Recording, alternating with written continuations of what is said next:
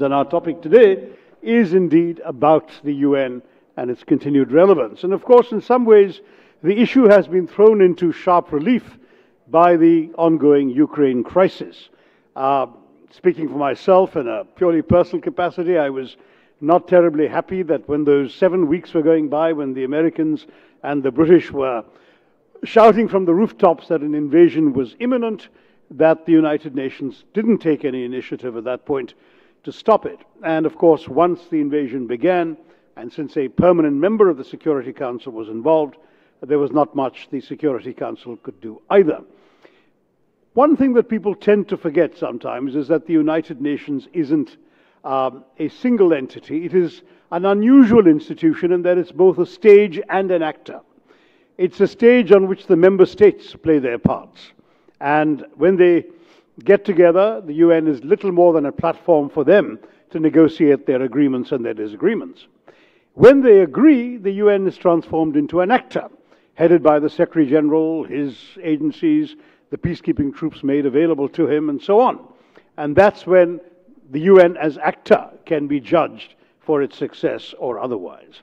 But the UN as stage reflects the world as it is, including the various differences amongst member states. And this is where we might take as our starting point some of the harsher criticism of the, of the United Nations that it has perhaps been irrelevant in this ongoing crisis uh, at a time when the world was desperately in need of some body to bring about peace. And I'm going to invite each of the panelists, all of whom have had United Nations experience from one perspective or another, uh, two of whom have worked within it as staff, one of whom has worked within it as an ambassador, um, and, um, and one of whom, of course, is relating to it as a minister of foreign affairs. And we will see what they each have to say. I'm going to start with Lakshmi Puri, right in the middle there. Uh, Lakshmi is a uh, former Indian diplomat, former uh, Assistant Secretary General of the UN. She's worked in the women and development fields, but she's seen the UN at close quarters for many decades. Lakshmi, your response to this. Thank you might all want to move the mic a little closer to you, I think, for sound. Yeah. Thank you, Shashi. And uh, as you rightly said, we need to, first of all, be clear about what the UN is, because the expectations from the UN can then be managed. Uh, so the first thing is that there have been a series of crises. First, the COVID-19, the World War III-like devastation that it caused, the hammer blows from that. Then we have had the Afghanistan uh, crisis. And then on top of that, we have had now the Ukraine-Russia war. Is that the last crisis that will break the UN's back? That's the question. Let me begin by saying that the UN is three UNs. It's the Secretariat and the Secretary General, but it is most of all the member states. And the members and, and the UN is also about we the people. So there are these three components that must work closely together for an effective UN. But more, if you look at the other aspect, more importantly, the UN is just a little more than the sum of the power dynamics of the most influential member states. So how they act or not is going to determine the effectiveness of the UN. And what is the UN's role? The UN and the whole system, along with the BWIs, is meant to be a global governance and rules of the game uh, universe, which is, which is focused on the four big projects of humanity. That is human rights, humanitarian response, sustainable development, and peace and security. But as the UN Secretary General pointed out at uh, uh, UN, at, uh, UN at 75, there are three or two challenges and one achievement which we now seem to have lost as well. So the first challenge is, and he pointed this out, and I think it's relevant for the Russia-Ukraine war, that the world has too many multilateral challenges and too few multilateral solutions, which means it's not amenable to multilateral, which is, you know, a cumbersome process and interaction. They're not amenable to multilateral solutions. Second, that the UN lacks ambition, scale, and teeth. And where those institutions like the UN Security Council has teeth, it doesn't have the appetite to bite. And that bite comes from two things. Political volition, political will of the key member states, in this case the UN Security Council P5 in particular, and the uh, unity of purpose that they demonstrate. So when you don't have this, then the UN will be immobilized, as has been the case in terms of the UN Security Council. But my case is that in the Russia-Ukraine instance, yes, the UN Security Council did not adopt the resolution uh, uh, which was uh, for action in this, uh, in this crisis. But short of that, it has been meeting frequently and trying to address three things, political, uh, the humanitarian, and the, uh, the weapons of mass destruction related issues. Because those are very important conversations that must happen irrespective of what's happening on the ground. Then the UN General Assembly has adopted three resolutions, one of them uh, suspending um, Russia from the Human Rights Council. And a series, then the ICJ has given a decision uh, against Russia. The ICC is undertaking investigations. Then the IAEA has passed a number of resolutions on nuclear safety and security, and so on. So the whole UN ecosystem has come together to, in a way, uh, weigh in on this crisis and support the pivotal role of the UN to provide humanitarian assistance, but also to act as a brake on some of the uh, concerns that are, uh, are humanities concerns with regard to this. Thank and you. one, one last point I would like to make is that UN Secretary General's role. And uh, I think uh, you rightly referred to the concern of the former uh, UN officials like you and me and others who have written that, we that the UN risks um, not only irrelevance but extinction. It's an existential crisis that the UN faces right now if the UN Secretary General does not become. He came on a mantra of prevention, but he was, he was, I think, taken aback. He has publicly admitted that he did not expect uh, Russia to go to war. So, that being the case, and then he has been making very strong statements condemning. So, the Russians have found him to be partisan.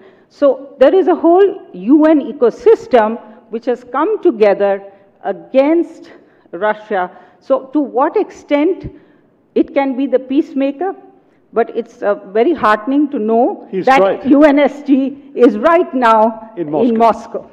He, he's just had lunch with the foreign minister and is going to meet President Putin, but you're right, he, he's, he has a tough task ahead of him. I'll turn to Daniel Carmon. Daniel is, uh, is, is somebody who's been at the United Nations in various hats, um, as, a, as a deputy permanent representative, as an ambassador to the UN, and I think as a director general for the UN at headquarters when he came visiting from Tel Aviv. He's also been an ambassador to India and as an old friend. Uh, Danny, what is your take on this very question? Well, thank you. Thank you very much. Uh, and it's a pleasure to be here discussing an issue that has been transcending throughout uh, the last uh, uh, day or two. Uh, many referring to a disappointment from the UN and from the multilateral world. Uh, this was very evident in uh, what we heard in previous um, sessions. I think that the automatic and just response to the question is the UN less and less relevant, the UN less and less relevant is the, the, the, the automatic question is, of course. That's the short one. The longest one must take into consideration and understanding, and Lakshmi explained, gave a background of what the UN is all about. The UN is not one, and like you said, it's not one entity with one message. Uh, there are at least two big players uh, or sets of players which should be taken into consideration, which is the Secretariat, uh, uh, the membership, and the same membership which reflects its agreements or non-agreements in the orders or the mandates or the resolutions that are passed into the Secretariat. You cannot have an organization with only one, or with, with, with the implementers and the practitioners and the, let's say, the board of directors or the shareholders, which are the mem member states.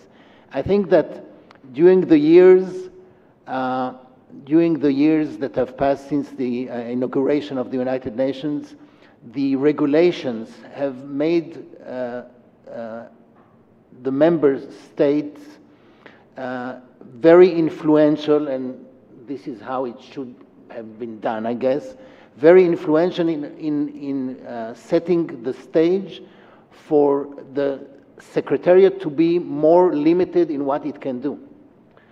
Uh, the Secretariat is comprised of very professional people. I would say that it would be better, if I can suggest, it would be better for the Secretariat, for the people, the professional people at the Secretariat to suggest to the uh, board of directors or the shareholders what should be done in particular um, instances and not be limited by what the mandates of the member states set. Uh, I think it's a very important and sensitive point. Uh, what we have to remember is what the UN and its resolutions and its mandates is a reflection of the membership. The same membership that came, if I can be naive for a second, or try to show a naivete for a second, uh, the member states or the world, when it was set in a visionary way, came to one place to do better for the whole world. And when you come to the United Nations, it takes an hour or two to understand that each one of the member states holds his, his, his flag very hard, strongly, uh, uh, setting uh, its policy according to its national interests, and this is how it should be. But the result of what is happening at the United Nations is not necessarily doing good for the well-being of The the whole, whole world. It's disappointing for the visionaries, it is disappointing. For the founding fathers of the United Nations, it is disappointing. For those who know what the United Nations is all about, both actors and stage, uh, it, is, it is disappointing, but you have to understand how it came about. Having on the Ukraine uh, uh, crisis, having Russia chair the Security Council meeting, uh, which in any conflict, any, any, any war that is happening, there is, after a few hours, a meeting of the Security Council and for a call for a cessation of hostilities, etc., etc. We know it. We've been there many times at the Right. Security Council. Uh, uh, having the participant, the aggressor, chair the meeting is more than ridiculous. Uh, but this is how the United Nations regulation is. Uh, uh, having resolutions that call, i- i- in setting resolutions, there is a need for a consensus. The consensus, by definition, brings the resolutions to be, to be weaker than the initial idea of setting uh, a, a mandate and a resolution. So what, what I'm trying to say is the United Nations is comprised of many kinds of, I would say, tensions between developed and developing, between uh, secretariat and membership, uh, between those who fund the budget of the United Nations, Yeah. which are 8% of the countries, and those who make the decisions, which are around 80% of uh, the member states In the General Assembly. in the General Assembly who, ma- who make the, the, the resolution. There are sets of tensions that have to be understood before we come and analyze and uh, judge the activity or the non-activity of the United Nations. Okay, well, that's a right segue into our next speaker. Ararat Mirzoyan is the Foreign Minister of Armenia, and as a the one person here who currently represents a member state at the UN, uh, how would you react to this question about the UN's relevance? Uh, well, first of all, thank you. Uh, I'm very glad to take part in this conversation today at Raisina uh, Dialogue and uh, exchange thoughts and uh, views about the um, possible crisis of multilateralism, uh, its, its strengths also, but also the challenges it faces. I should state that uh, my country, Armenia, has been a strong believer uh, and, and, and an active uh, uh, supporter of multilateralism since, regain, since regaining its independence in 1991, and a believer and a supporter in multilateralism, in international organizations, in the role that they play uh, uh, in sustainable development, in preventing and overcoming crisis, and so on. Um, and coming to the main topic of today's conversation, to the possible crisis of multilateralism, I should say that, um, firstly, probably we should uh, um, define uh, what we mean by saying multilateralism and the crisis of multilateralism. Um, are the regional organizations um, political, military blocs uh, part of this crisis, or we are speaking about, or we, this is uh, uh, limited only to the organizations with universal representations, uh, and, and in particular uh, about the United Nations. Uh, so uh, uh, I should uh, also suggest to recall the history of creation of United Nations. The United Nations organization the United Nations is a, um, is a child of war. Uh, it was born on the ashes of Second World War, and, uh, and uh, uh, with the promise to prevent um, the horrors of that war ever being repeated.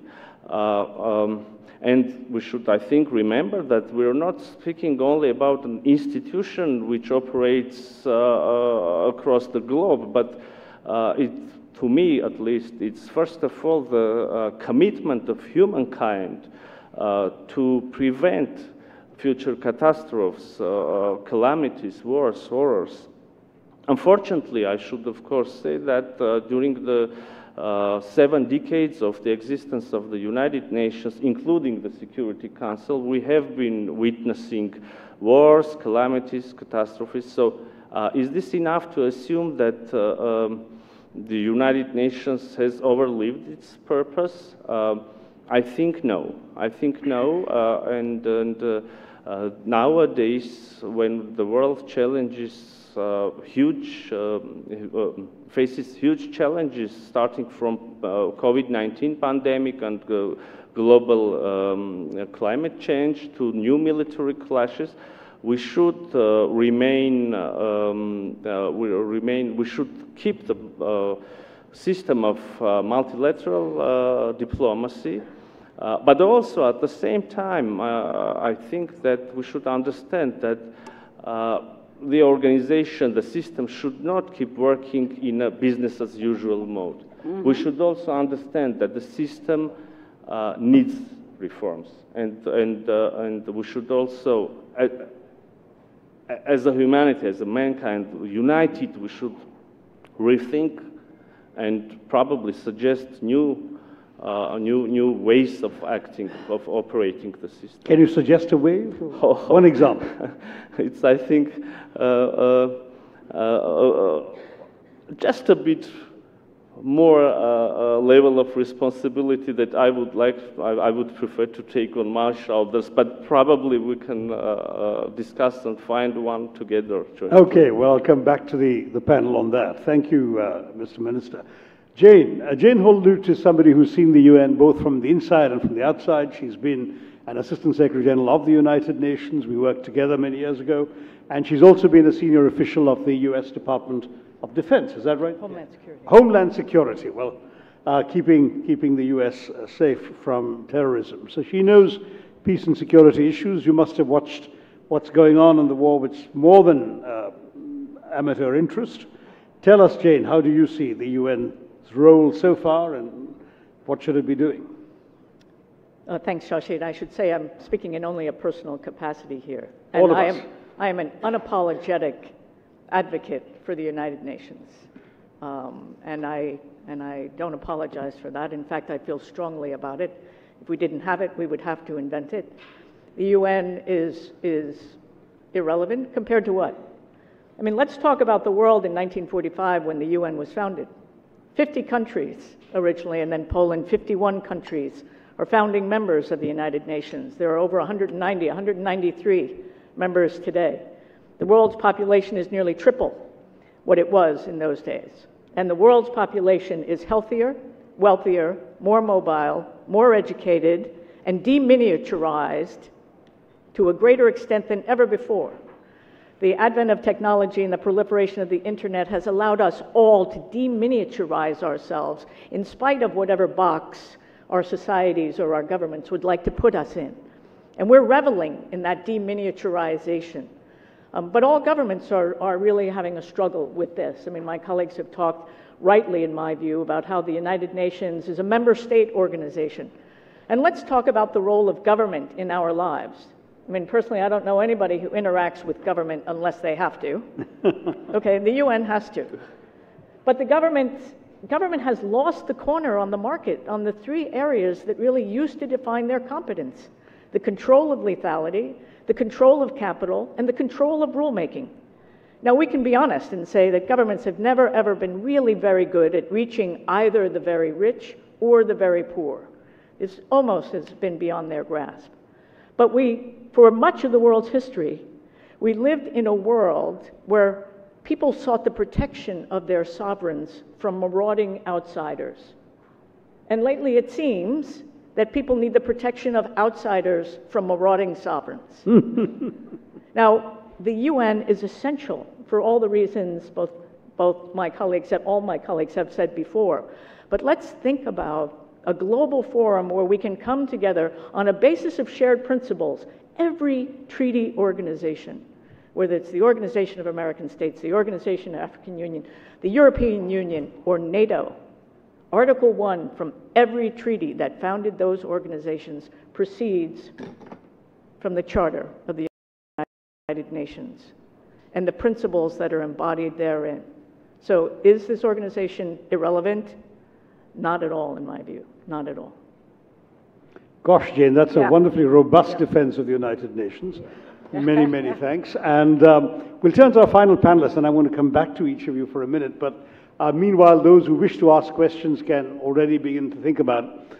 Our final panelist is Charles Kupchan, who, unlike the other four, hasn't ever worked for the UN, as far as I remember, but has uh, been a very distinguished public commentator on global geopolitics and therefore on the UN's role in it. And Charles, I'd welcome your comments on the larger question and on what you've heard. Thank you, Shashi. Pleasure to uh, join my colleagues on this panel. You could push the mic a little closer to you? Yes. Yeah. Um, I share Jane's appreciation of the value of the United Nations, but I'm going to offer a, a somewhat different take on where we are today.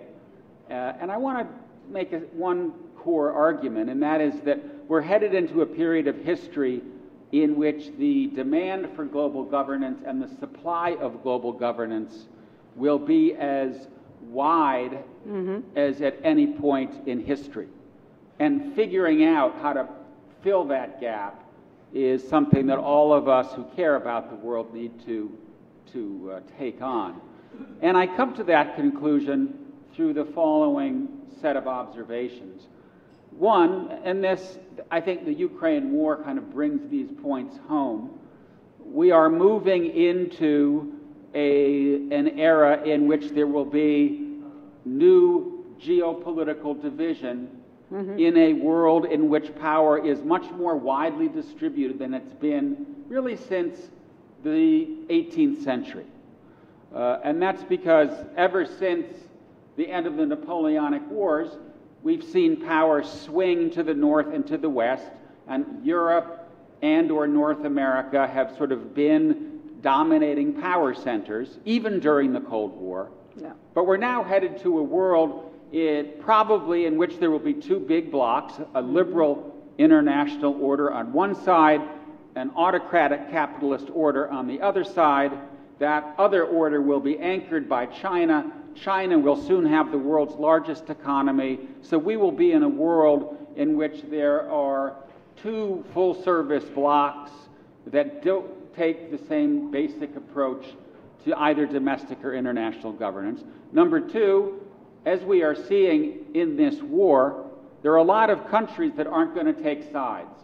Jane and I were talking just before we came into the room. There are only 41 countries in the world that have joined the sanctions regime.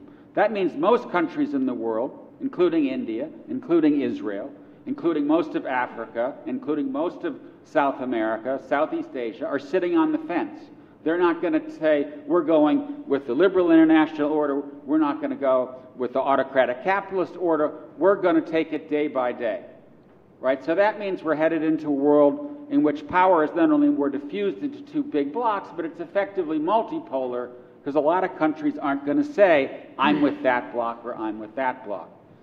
Third observation even though I'm bullish about the strength and durability of the liberal international order, it ain't what it used to be. We had a panel earlier today about populism and illiberalism. This is here to stay, right? We're looking at a, a kind of more polarized, more difficult, more dysfunctional liberal democratic West than we are used to. And the United States, which has been the main driver of liberal multilateralism since World War II, is going to have trouble playing that role when it's almost impossible for the foreseeable future to get any significant treaty ratified by the U.S. Senate. Absolutely. And that's simply because the political landscape has changed.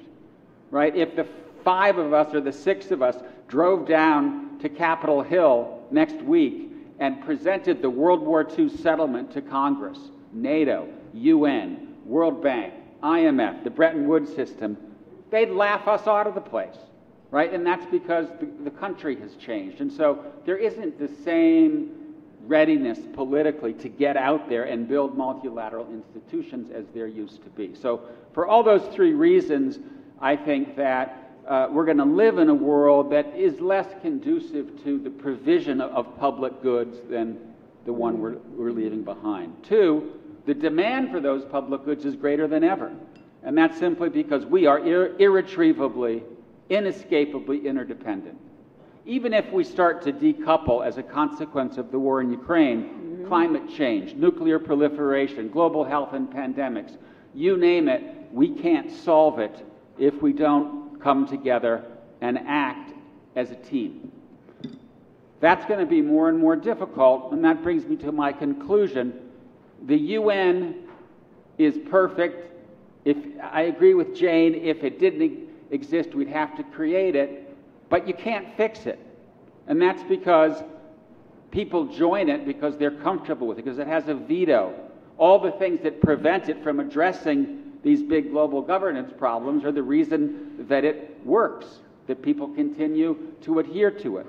And so we can reform it here and there, but we're not going to be able to reform it in a way that fundamentally addresses the underlying sources of the problem. And that's why I think we need to look for the UN plus. We need to look for other modalities, other kinds of institutional innovations that will help us fill this gap. My personal preference is to start building what I would call concerts, small groups of countries that come together to tackle global problems that cuts across ideological dividing lines because we are going to have to talk to Russia, whether Putin is a war criminal or not. We are going to have to talk to the Chinese, whether they support the, the Russians, because that's the world that we live in. And that's going to take small group countries coming together, in some cases putting not just the liberal powers and power and, and liberal powers at the table. What about CEOs? What about NGOs? What about civil society, right? They have to be at the table. So I just think we're going to have to think more creatively about how to put together packages of countries that need to be there discussing to tackle global problems. Great. So we've really had all our panelists pretty much agreeing that the UN is indispensable, and I think it's difficult to disagree with that. And as both uh, Jane and Charles have just pointed out, it probably couldn't be invented today, so we, we better keep the one we've got. Um, in fact, the fact that the UN is imperfect has been acknowledged all along. There's that wonderful line from the UN Second Secretary General Dag Hammarskjöld, who said the UN was not created to take mankind to paradise but rather to save humanity from hell. In other words, sometimes the best it can do is to prevent things from getting worse. It can't necessarily wave a magic wand and solve the problems of the planet. And we're seeing that right now here. But before I take questions from the audience, I'll ask for very short answers to one simple question. One of the propositions that's there in the booklet about our panel is that in a world in which sovereignty and sovereign states are becoming less and less relevant because so many things are happening beyond the ken of sovereign states, as Jane also said. The question that comes up is Is the UN, founded as it is on sovereign states, suffering a fatal fundamental flaw? Do we need to augment the UN with something that tries to bring together the various non sovereign state entities that are really having a tremendous impact on all our lives? This time I'll just go in order in terms of proxy. Start with Jane and move eastward. So so, so two quick points. I mean, I, I think this whole notion that sovereignty is weakening is kind of overblown. Sovereignty is not what Jane, you... can you pull it? Oh, sorry. Can't hear you. Sovereignty is not what you say you are. Sovereignty is what we say you are, in spite of what you are. So I, I think sovereignty is alive and well, point one. Point two, there's an expectation, I think, that the UN would, would somehow be directive. And as you say, there is no swish and flick here, right? I mean, that it's somehow strategic, centralized, and top driven, global governance. I mean, I can't think of three more useless words in the English language to describe the world in which we live than strategic, centralized, and top driven. This world is transactional, decentralized, and bottom driven. And the name of the game is still states. Still states, okay. Mr. Minister, you have an easy task, uh. Um, no, uh, no, why? Um, uh, you asked for a short answer, so my answer is that, uh, uh of course, I agree. I agree uh, it weakens the sovereignty of the states, and here I would recall the previous uh, remark about being interconnected and interdependent. but also, on the other hand, we see that sometimes very particular sovereign states can allow themselves to do whatever they want to do. And here we will come to the conversation about the rules that should be established and respected uh, by everyone. Mm-hmm. And what do you do if they don't respect the rules? That's, isn't that always a problem? What do you do if a, if a powerful state doesn't respect the rules you've all agreed to?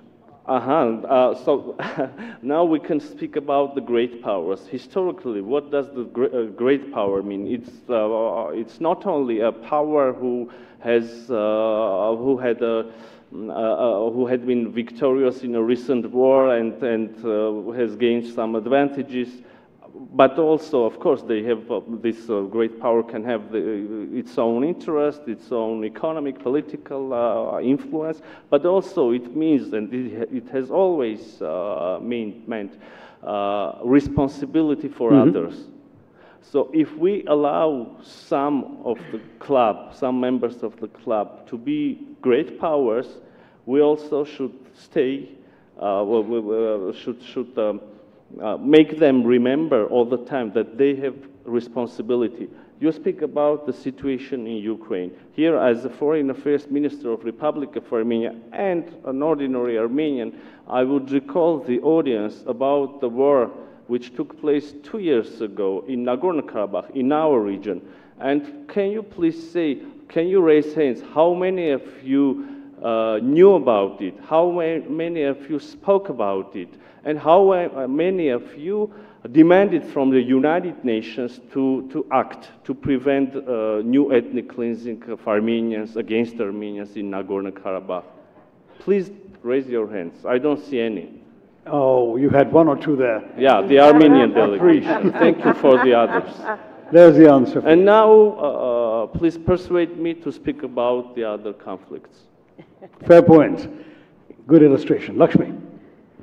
It is a creative destruction moment in so many ways, including on the shifting frontiers and definitions, you know, the shape shifting frontiers of, of sovereignty that we have been uh, talking about. But that's why I want to really push in on the whole issue of how we should be reinventing the UN, going back to the drawing board. Article 108 and 109 of the Charter, and address all these issues. Remind us what 108 and 109 tell us.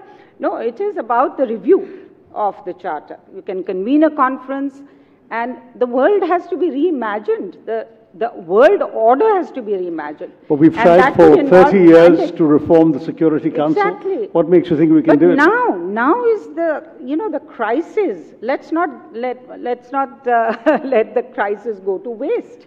Let's use it.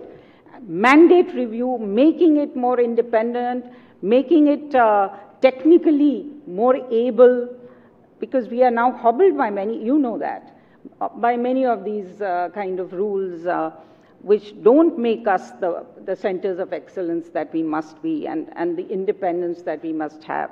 So all of that has to be, and UN Security Council has to be expanded and reformed, um, and that should be, I think, the lesson as well.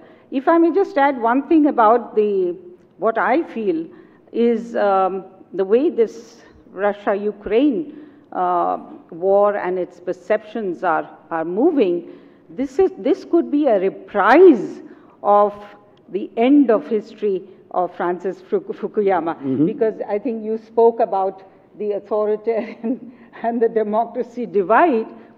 So, are we in that moment? In which case, then we need to, uh, you know, come together and reimagine it. Thank you, Lakshmi. Danny, I saw you smiling when Lakshmi's enthusiasm for a review came up. When talking Is that a about the- cynical smile I see there? Maybe it's a realistic one. Uh, having been a practitioner at the United Nations, we've had a lot of conversation with the Secretariat people uh, about adapting uh, the United Nations to our times and taking into considerations the limitations uh, that are set by the member states themselves which brings all of us to lower the expectation. I mean, those who thought that the United Nations could be, solve peace and security issues, maybe it's visionary, but it didn't happen 70 years. For 70 years, the United Nations uh, knew how to safeguard peace, how to keep peace, but not to broker the peace. That's a big, big uh, difference, and there is a misinterpretation of not of the role, but of the capabilities of the United Nations to be on the uh, negotiating table of how to make peace between uh, uh, enemies. Uh, this is right on, on all fronts. This is right in crises that we don't hear about, Mr. Foreign Minister, and you so right, rightly said, uh, conflicts in Africa, there are hundreds of conflicts in Africa. They are maybe mentioned in speeches at the United Nations, but not in the activities of the United Nations. This is one. On the other hand, you have crisis, crises that are uh, overexposed at the United Nations without any uh, proportion, only because the member states and their dynamics with the group dynamics in the United Nations bring those to the agenda of the United Nations, uh, uh, uh, forgetting other conflicts. But the United Nations, as such, is very much aware of the need to reform, to reinvent itself in various aspects. I'm not an advocate, advocate of the United Nations, I'm more of a critic of the United Nations. Uh, for various reasons, but I do believe the United, you, you, and you know the reasons. we do believe, uh, I do believe that it must um, uh, sustain, it must continue to be not as it is. Uh, in a previous session, uh, someone suggested to reboot the United Nations. I feel rebooting the United Nations would bring uh, a new organization more of the same. Uh, but it must continue to be a stage, and there must it must continue to be a, a, a sitting table for the actors, Uh, we only have to understand the limitations and be with realistic expectations. Understand the limitations. Okay, Charlie, you're the non-practitioner here. Tell us your take on, on this last round. Yeah, I mean, I think that there's a, a dual movement today, Shashi, in which, in which sovereignty, traditional sovereignty, is being restored in many respects. States are getting stronger, and that's because they are reacting against globalization. Uh, and you see it most clearly in people like Trump and Le Pen and Kaczynski, but you also see those on the center left doing the same thing because they are being driven to by domestic politics. So Biden came in wanting to practice a much more liberal immigration policy, but he has had to pull back and raise the country's borders, if you will, in, in part because that's where domestic politics is pushing him. Uh, and so I think we, we're, we're living in a world in which states and state authorities will still be the drivers uh, and, and, I think one, th- one thing that I, that I think we, we, miss, and this comes to this, this attribute of the, of, the, of the Security Council as a stage, it's too much of a stage. We don't have a place where, on a sustained daily basis, we're getting real conversation among the United States and India and Russia and China. And I think we, we need that. Mm-hmm. Uh, and might we have been able to avoid the Russian invasion of Ukraine if there had been that sustained dialogue? Maybe. Yeah. Maybe. It certainly wouldn't have hurt.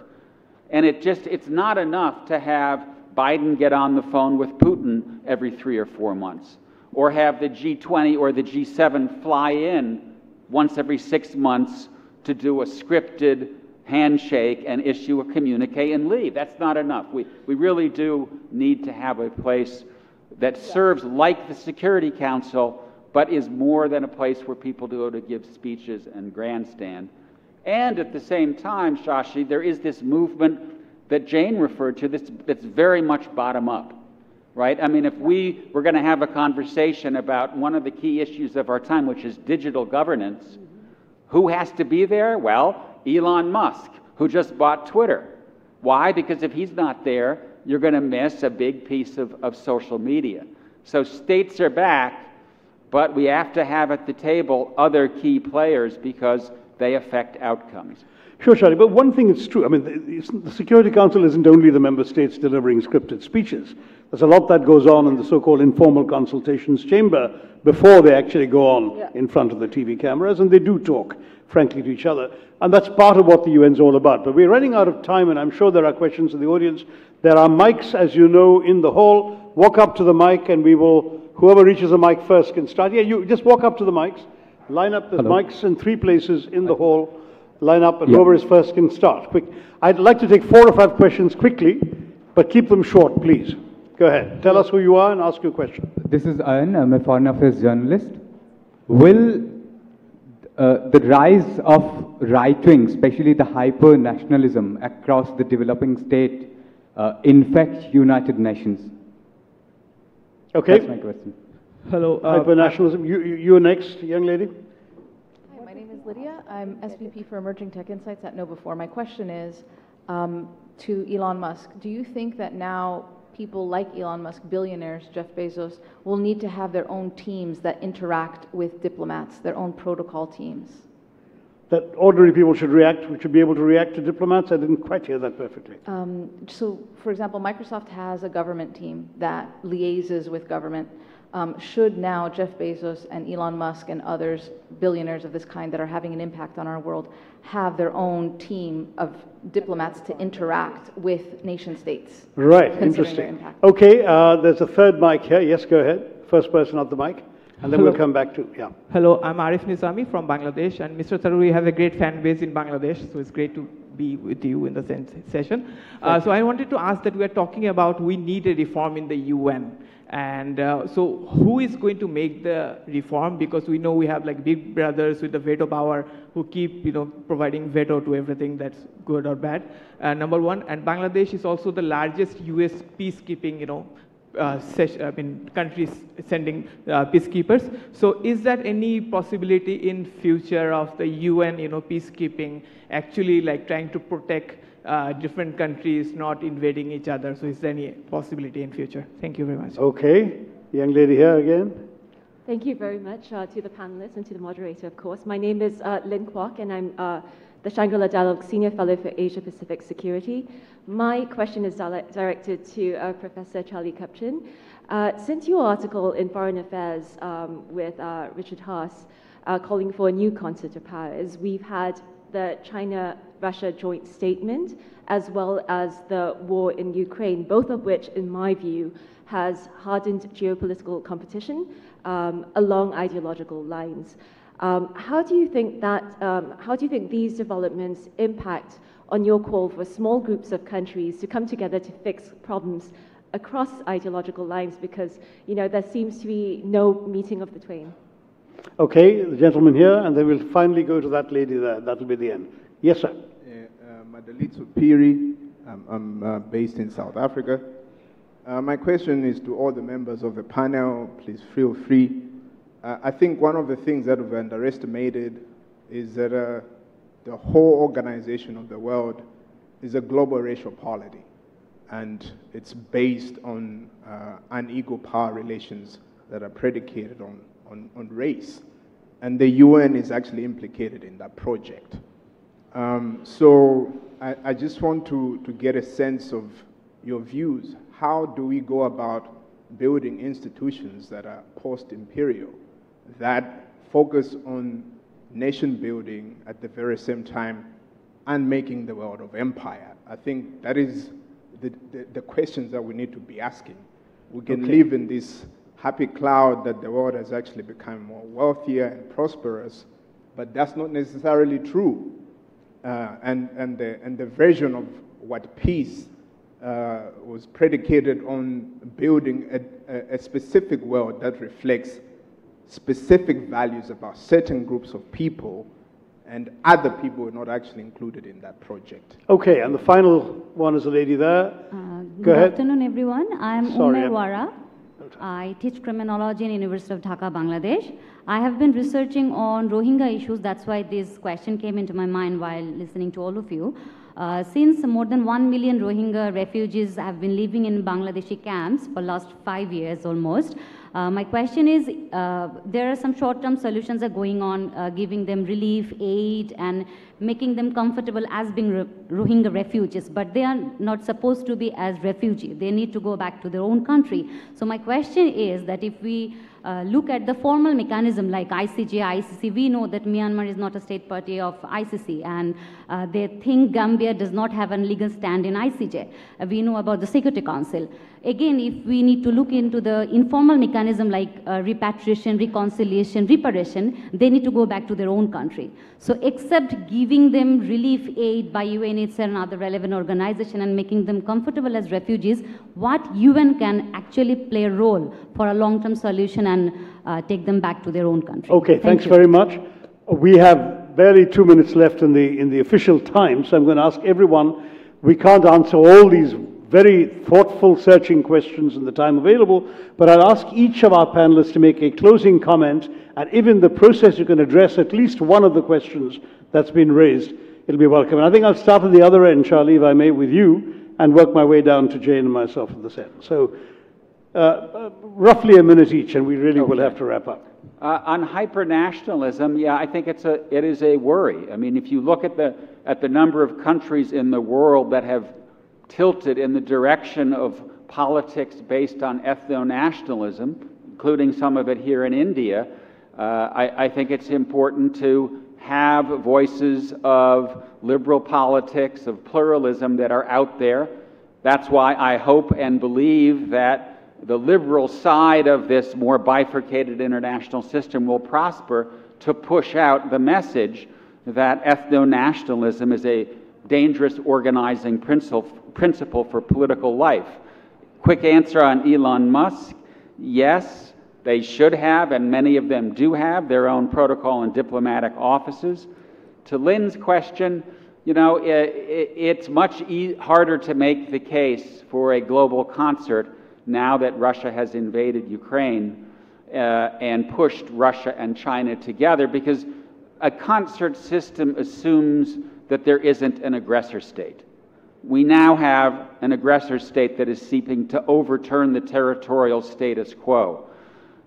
Does that mean that this proposal for these kind of small group systems is out the, out the door? No, but it means that we're going to have to figure out a way to kind of build back or build back better, as President Biden likes to say. But I, I do think it, we need to keep this in the back of our minds as we think about a potential end game in Ukraine. What end game will help us build a post war working international system? Great. Danny? Uh, yes, on uh, peacekeeping, I'd like to stress, uh, as it is now, uh, peacekeeping is peacekeeping. It's not preventing uh, uh, a war. It's making sure that the result of a peace treaty or any kind of arrangement after a war is kept. And that's a very sensitive point that the United Nations has not crossed. It has not crossed into peace enforcing. It is staying in the field of peace uh, keeping. That's an important point. On nation building, or as it was called at the United Nations, uh, uh, nation, nation th there was a concept developed at the United Nations uh, to. We called it peace building. The peace, questioner called it nation building. Peace, yeah. peace building. Uh, peace building after internal conflict. I remember a United Nations debate mm -hmm. in which the concept was set all the member states knew exactly what the idea was by the secretariat, by the organization. And you should have heard, I don't know if 193 speeches, but a large diversity of speeches which talked not about what should be done by the community, but how does every country see uh, uh, um, uh, peace building on its own perspective and interests. And this made sure that the concept of peace building at the United Nations does not fly. And if I'm not mistaken, still it is not flying at the United Nations. And that's one of the limitations and one of the flaws of the United Nations, as we have, I think. This was actually one of Kofi Annan's innovations. It was not from a member state, it was pushed by the Secretariat and the member states were not entirely sure they liked it. Exactly. There you are. Exactly. And if I may add, this brings me back to the idea or to the suggestion that within the United Nations, uh, um, in the streamline of making uh, uh, decisions of how to do and how, what to do and how to do it, I think a big, bigger role should be given to the secretariat, like in a company, like the developer in a startup to take the idea from the bottom, mm. suggest to the Secretariat, and then suggest to the member states what should be done, and then receive the uh, mandate or the laws or the ruling of what should be done. Nowadays, it's not working this way, and much has, is not being done uh, as we would expect it to be done. Thank you, Danny. Lakshmi. Just want to, I think many of the questions have been answered, but I would like to give perhaps a last message because this is our last um, inter intervention. So um, I think what we have to recognize is that the UN has made a major contribution, including in what uh, our colleague from South Africa was saying, in uh, addressing some of the issues of inequality, of racism, of development uh, in a very sustained manner. And at least there has been uh, some addressing of those issues. So we need the United Nations and uh, there is no question of that. But getting to reinvent it, reboot it, restart it, all of that is the biggest challenge, particularly because of this geopolitical, geo-economic divide, this binary that is emerging. And that's something that we will need to rethink as a global community. Uh, and and it, it is indeed one of the existential uh, dilemmas that we face. Absolutely. Ararat Mirzoyan.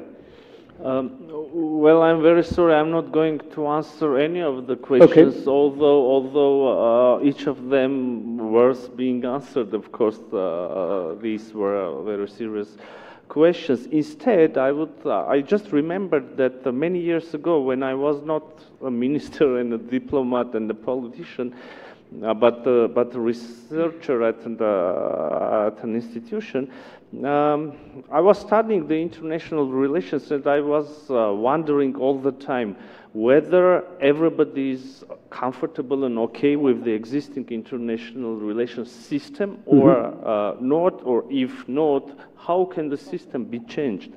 And, and um, uh, by that time, I did not have any answer and any idea of the conversation being opened. Now I can say that I'm glad that the conversation is open and the issues are being discussed and very seriously dis uh, discussed. And this means that probably we are not very far from the solutions. That sounds very optimistic. Good to hear that. Jane. In every single one of our countries, there are organizations with people who wake up every single day thinking how they can steal your money. There are organizations with people who wake up every single day thinking about how they can kill other people.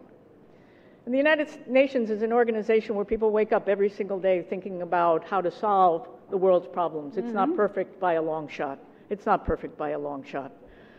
And what we've learned, you know, what countries like the United States, for example, recently has learned the hard way is force can't do all that needs doing, and all that needs doing can't be done alone. And so while there's many opportunities for the United Nations, there are equally many opportunities for nations to unite, and it's about time they started doing so. That's wonderful. I'm going to just offer two closing comments myself. One is that, of course, the United Nations is a mirror of the world. It reflects our agreements and disagreements, it reflects our imperfections as well as our inequalities. And I think for us to expect greater perfection than that is not realistic. But the strong case made for it just now by Jane, by Lakshmi, by others, is, I think, the justification for persisting with it. There was a wonderful old uh, diplomat from the Soviet Union in the early 60s called Yakov Malik, who was an ambassador to the UN. Mm-hmm. And he would love to tell a story uh, whenever he was asked about the, uh, you know, how, how bad the UN was and why it needed to be got rid of. And he said that it reminded him, when he heard these critics, of a story of Adam and Eve in the Garden of Eden. He said Adam found that Eve was becoming a bit indifferent to him. And Adam said to Eve, Eve, is there someone else? You think about that for a minute. It's the same question you can ask about the UN. Is there someone else? Can there be anyone else? Is there any other organization that brings together all the countries of the world in a common forum. There isn't. That's the best defense for the UN. Thank you all very much, and thank, thank you, you to this wonderful panel. Thank you. Thank you.